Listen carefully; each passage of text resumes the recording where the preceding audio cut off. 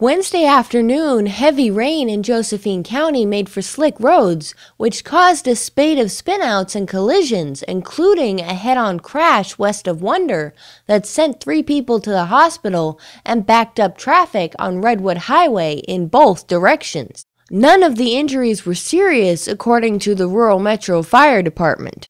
The crash took place just after 6 p.m. on a curve in a section of highway newly repaved, about one mile from the bottom of Hayes Hill. One car was a Toyota Corolla with California plates, while the other was a Nissan Murano with Oregon plates. The Illinois Valley Fire Department, Oregon State Police, and the Oregon Department of Transportation assisted at the scene, which was cleared in about an hour.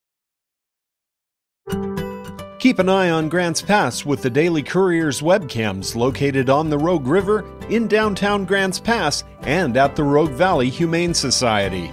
See what's going on today at thedailycourier.com.